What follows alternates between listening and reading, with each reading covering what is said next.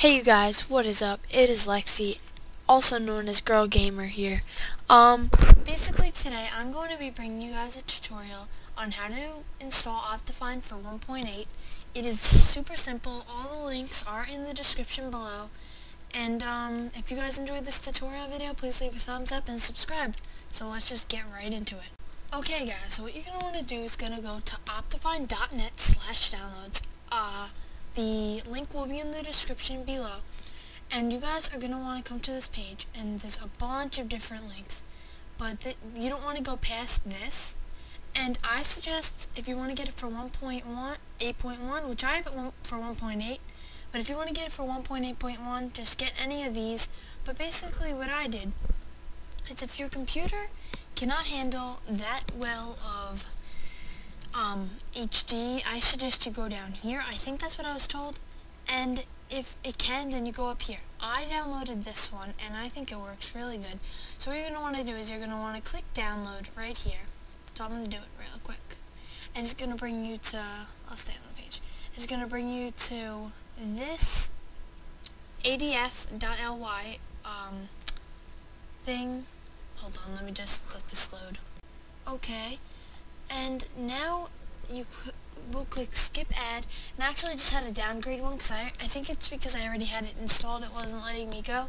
But um, then you're just going to click this, and if you're on Firefox, you're going to click save file, and it's going to go on up there, and what you're going to want to do is take it and drag it onto your desktop, like so.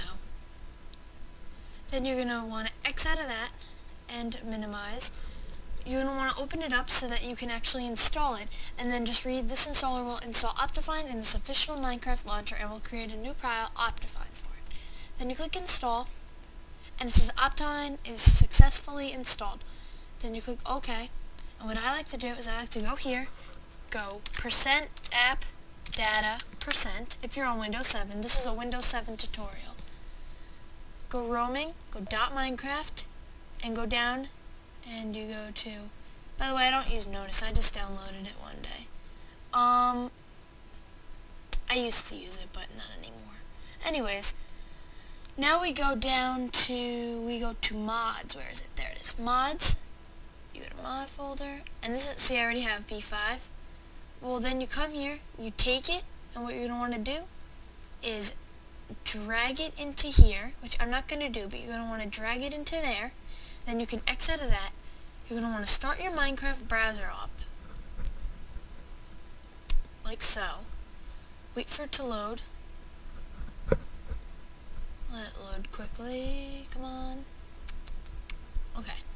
See, I already have, and it's right there, B4.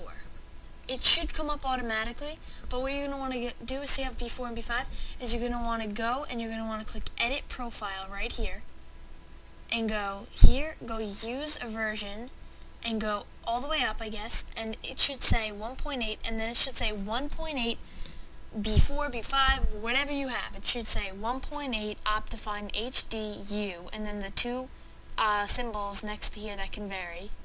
And you'll just click the one you want, and you click Save Profile, and you join the game.